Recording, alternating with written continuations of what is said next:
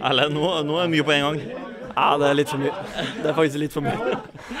Først og fremst må vi bare ta det som skjedde på slutten på matchen. da.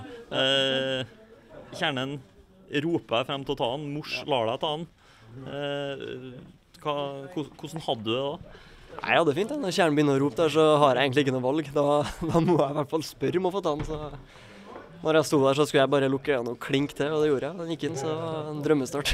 Men du er jo litt overraska over at han mors lot deg tok han. Ta han. Nei, altså det, det er jo en godhjerta fyr som eh, alltid tenker på alle andre. og Han er, han er en ung trønder som trenger det her. og Oppgaven min er å løfte den opp, og så det, så det var det jeg gjorde. da. Så det, Ja, hva, du- hva du sier Nei, sier jeg. Ja, Han ber om en sjokolade nå, så han skal få det. Men eh, åssen var det selve matchen da, utpå her? Du kom jo godt i gang. Ja, nei, jeg bestemte meg for å slippe skuldrene og gjøre det jeg er god på. Og tenkte at det Jeg må bare legge fra meg det presset som er, og så vise meg fram, og det syns jeg er klart.